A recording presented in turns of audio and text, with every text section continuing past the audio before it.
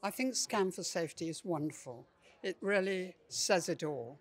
Um, and it's using the barcodes, which of course has been in supermarkets for a very long time. But this one is about safety.